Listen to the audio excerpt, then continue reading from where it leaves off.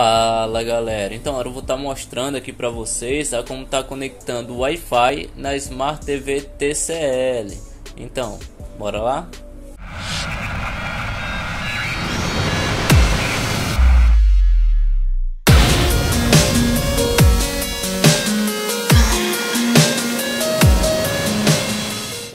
Então galera, vocês vão estar tá indo lá em cima no canto superior direito da tela, nas configurações, fica nessa engrenagem aqui do lado da hora. Aqui vocês vão clicar nessa primeira opção, rede e internet. Aí vocês vão clicar aqui para estar tá ligando.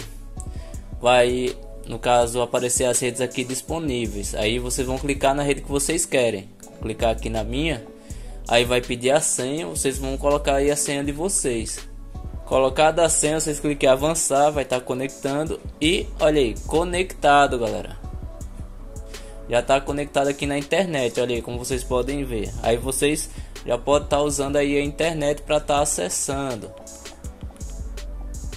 Se vocês gostaram aí dessa dica, se inscrevam no canal, deixem um like, comentem, compartilhem. Valeu!